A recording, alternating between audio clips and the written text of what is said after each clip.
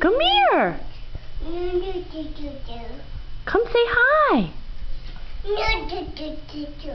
That's the Christmas tree.